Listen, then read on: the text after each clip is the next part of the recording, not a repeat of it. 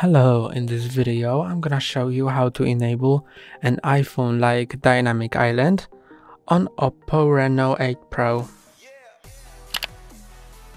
If you want to download a, a dynamic island from iPhone, go to Play Store and search for an app named Dynamic Spot. Dynamic Spot. Then install this app and after a moment tap on open. Then next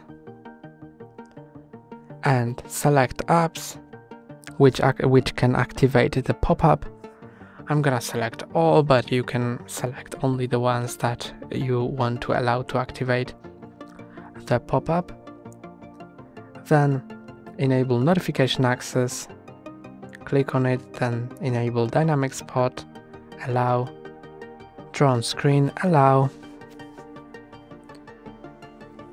next, now go to dynamic spot, enable it, allow, then tap on done, and now tap here, allow, tap here again, and you can see that the dynamic island has appeared here and whenever you uh, get a notification or start playing music it will display the dynamic spot here.